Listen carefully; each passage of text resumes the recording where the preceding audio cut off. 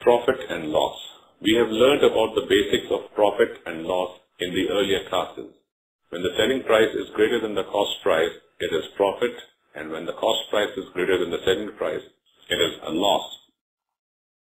Profit and loss percent is always calculated on cost price.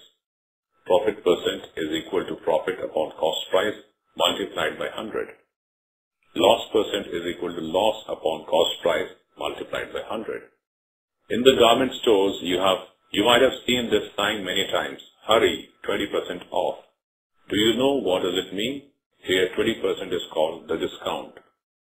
Suppose a music CD has a price tag of rupees 100 and the shopkeeper is offering 20% discount. That means 20% less on the price tag. The price you have to pay is equal to rupees 100 minus 20% of 100.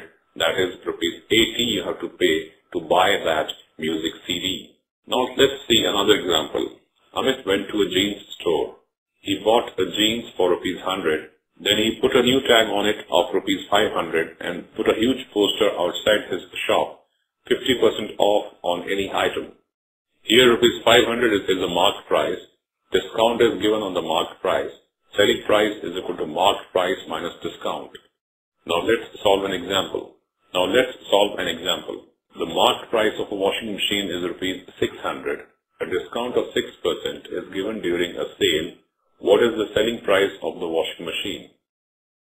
Given that marked price is equal to rupees 600, discount rate is equal to 6%, discount is equal to 6% of the marked price, that is 6 upon 100 into 600 is equal to 36, selling price is equal to marked price minus discount, Therefore, 600 minus 36 is equal to rupees 564.